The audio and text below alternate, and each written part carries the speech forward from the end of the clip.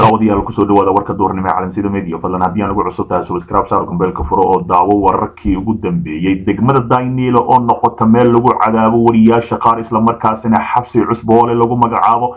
ayaa halkaasi lagu jirdilaa dad aad u fara badan islamarkaasina guddoomiyaha degmadaasi ayaa waxa uu sameeyaa wax bila-aadinimada ka baxsan. Maalmihii u dambeysay warbaahinta ayaa soo tebinaysay wariyaal halkaasi galay oo ka sheekeeya islamarkaasina gobolka banaadir iyo villa soomaaliya oo ruxmatay kadib markii la arkay cabashada halkaasi ka soo yeeraysa hogaamiye kooxeed caadi ah ayaa joogo. Degmada daynile islamarkaasina dadka ayaa lagu dubtaa si kastaba aatee villa soomaaliya oo soo baaraysa tacadiyada la sheegay inay ka dhaceen daynile islamarkaasina dad halkaasi soo baara ayaa loo diray maalmihii la soo dhaafay waxaa baraha bulshada qabsaday warar ku saabsan tacadiyada ka dhanka ah xuquuqda bini-aadinimada oo lagu eedeeyey inay geysanayaan maleeshiyaad daacad u ah guddoomiyaha degmada daynile maxamed abuukar jacfar islamarkaasina halkaasi ay tahay hogaamiye kooxeed si rasmi ah. Dadka jirdilaya cid kasta oo facebooka wax ka soo qorta ama daynile waa dayacan tahay soo qoraa islamarkiiba habeenkii gurigiisa ayaa loo soo dhacaya ciidamo ayaa wadanaya islamarkaasina xabsiga cusboole ayaa dalaq la siinaya jirdil xoogan ayaa loo geysanaya biyo ayaa lagu firdhinaya islamarkaasina bilaa raashin ayaa la dhigaya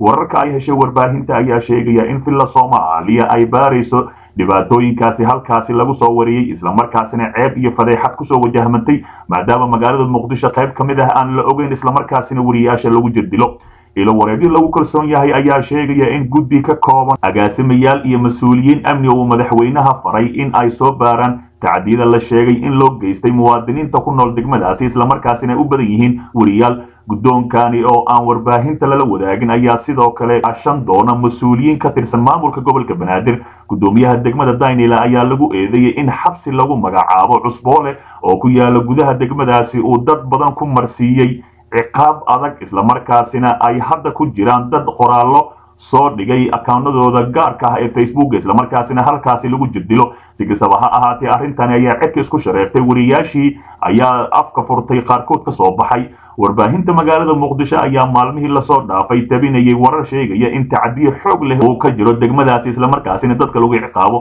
guddoomiyaha degmada ee lagu eedeeyey dhibaatooyinkaasi marna kama hadlin. Eedaha loo jeediyey inkastoo dad ku dhow ama taageero ay baraha bulshada ka difaacayeen islamarkaasina warar sheegaya ay soo qorayeen in guddoomiyahaasi uusan wax dembi ku lahayn si kastaba ha ahaatee wariyaashii qaar halkaasi galay ayaa ka warramay ciqaabta dadka loo geysanaya islamarkaasina sida dadka loola tacaalayo xataa darawalkiisa ayaa dadka iska dirdilaya islamarkaasina muuqaalka duubayo. Si kastaba ha ahaatee iminka ayaa villa soomaaliya ku baraarugtay. Isla wariyayaasha la jirdilaya ayaan ku jurnaahe saacad ka hor ayaa magaalada muqdisho lagu jirdilay gabar wariye ah islamarkaasina iyo wiil la socday oo u shaqeeyo idaacadda shabeelle iyo qaybteeda tv-ga magacyada iyo xilalka ay hayaan dadkii ka dambeeyey jirdilka wariyaasha shabeelle ee saaka ka dhacay degmada waaberi ayaa la soo bandhigay. Maamulka degmada waaberi waa ku ceeb ayaa layidhi warbixinta la soo qoray waxay saaka ku sameeyeen wariyaashii shabeelle t v. Gabadha lagu magacaabo safo cusmaan waxaa dhaawac dhagax ku dhuftay habeelo magaciisa lagu soo kaabiyey maamulka maamulkana ayuu ka tirsan yahay halka maxamed axmed rooble guddoomiyaha waaxda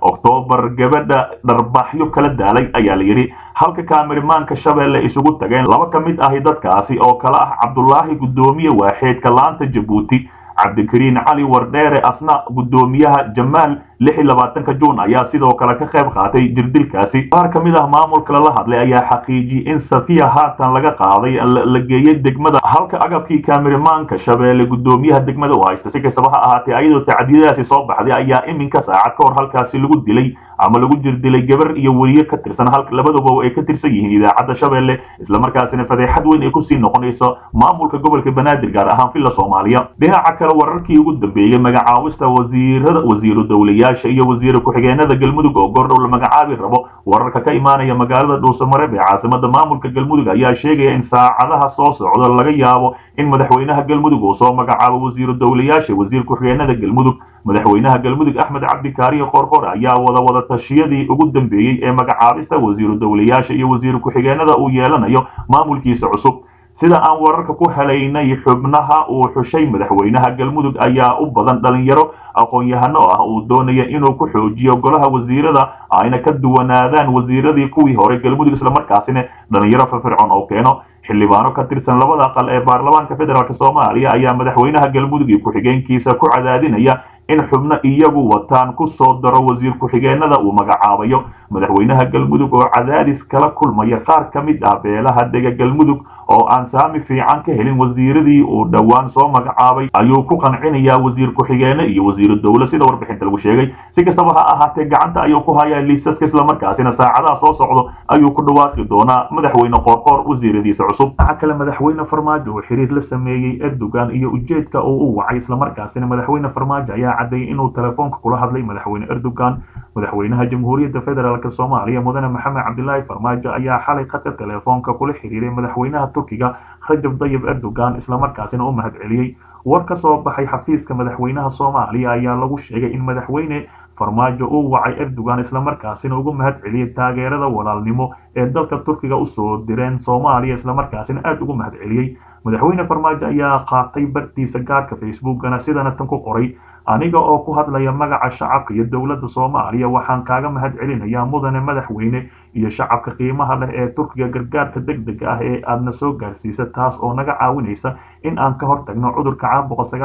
ayuu yidhi madaxweynaha soomaaliya maxamed cabdilaahi maxamed farmaajo dowladda turkiga ayaa maalintii sabdida muqdisho ka dejisay diyaarad nooceeda militariga ahi oo siday agab looga hortegayo cudurka caabuqa sagaal iyo toban oo fara ba'an ku hayo gudaha dalka soomaaliya. Haba ugu badnaata magaalada muqdisho islamarkaasina in ka badan toddoba boqol iyo labaatan qofood uu marayo kadib gargaarka madaxweynaha turkiga rajab dayib erdogan ayaa qoraal uu soo dhigay bartiisa twitterka ku yidhi mashiinada neefta bixiya ee lagu sameeyey gudaha turkiga waxaa ku neefsan doona walaalaheena soomaaliya oo ay ka jirto mashiino yari oo aada u daran dareenkeena waxa uu mar walba la jiraa kuwa la caburiyey iyo dalalka baahida qaba. Kaalmadan agabka caafimaad ah ayaa isugu jirtay maaskaro galoofyada ilaalinta leh dareeraha gacmaha lagu nadiifiyo dharka isku joogga ilaalinta leh ee looga hortago ee loogu talagalay xirfadlayaasha caafimaadka qalabka lagu baaro caabuqa sagaal iyo toban qalabka neefsiinta islamarkaasina mashiinada ah iyo agab aada u fara badan si kastaba ha ahaatee dowladda federaalk soomaaliya ayaa markii agabkaasi ay ka heshay dowladda dalkaasi turkiga aada u faraxday islamarkaasina u mahad celisay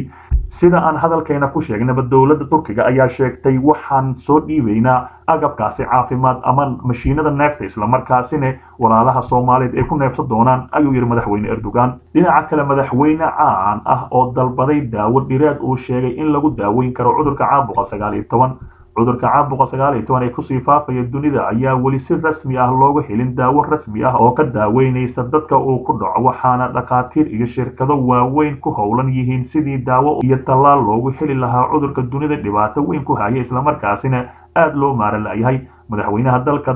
tanzania john magufuli ayaa ka mid ah dadka aaminsan in cudurkani lagu daaweyn karo daawo dhireedka. Waxa uuna madaxweynaha sheegay in dowladdiisa ay ka war dooni doonto daawo dhireedka cudurka u roon islamarkaasina mar dhow ay soo saari doonaan. John makafuli ayaa sheegay inuu diyaarad u diro doono dalka madagaskar si halkaasi uu uga soo dhoofsado roobo daawo dhireed ah oo la sheegay inay waxtar u leedahay dadka uu ku dhaco. Caabuqa sagaal iyo toban islamarkaasina dhibaato fara badan ku hayo wadahadal ayaa inoo socdo madagaskar waxay ii soo direen warqad ay ku leeyihiin daawo ayaan u haynaa caabuqa sagaal iyo toban. Waxaan diraynaa diyaarad inoo keenta daawadaasi si ay tanzania uga faa'iidaysato ayuu yidhi makafuli hogaamiyaal badan oo afrikaan ayaa aaminsan in daawo dhireed lagu daaweyn karo cudurka caabuqa sagaal iyo toban. Hase ahaatee hay'adahu ayaa ka digtay daawooyinka la isticmaalayo. Waxa ayna sheegtay in aysan jirin daawo rasmi ah oo cudurkani loo soo helay islamarkaasina cid waliba ee iska jirta khatarta ka imaan karta. Dhinaca kale daahir geele wasiirkii hore warfaafinta dalka waxa uu istaahilaa hoggaan wanaagsan oo rumaysan xurriyadda saxaafadda. Wasiirkii hore ee wasaaradda warfaafinta dowladda federaalk soomaaliya daahir maxamuud geele ayaa ka hadlay xaaladda ay ku shaqeeyaan warbaahinta soomaaliya gaar ahaan heerka ay taagan tahay xurriyadda saxaafadda madaxa bannaan iyo cabirka afkaarta ee xilligani ka jirta gudaha dalka soomaaliya. Waxa uu sheegay wasiirka in ay nasiib darro tahay in maanta muwaadiniinta soomaaliyeed ay dareemaan in hoos u dhac uu ku yimaado xurriyadda hadalka. Waxa uu ku baaqay dowladda dhexe ee soomaaliya inay ilaaliso xurriyadda hadalka si ay u dareemaan muwaadiniinta soomaaliyeed cabsi la'aan islamarkaasina shaqadooda ay u gutaan iyadoo la xusayo maalinta caalamiga ah ee xorriyadda saxaafadda muwaadin kasta oo soomaaliyeed waxa uu xaq u leeyahay in uu dareemo ceeb iyo yaxyax ku aadan xaaladda sii xumaanaysa ee dhinacyada xuquuqul insaanka xaaladda saxaafadda iyo xorriyadda hadalka ee dalkeena ka jiro. Waayadan dambe ayuu yidhi daahir maxamuud geele wasiirkii hore warfaafinta waxa uu intaasi ku daray dalku waxa uu astaahilaa hoggaan wanaagsan oo rumaysan xorriyadda saxaafadda iyo xorriyadda hadalka dhowraya xuquuqul insaanka dalkeena ku maamula si dimuqraadi ah ayuu yidhi. Sanadkii tegay ee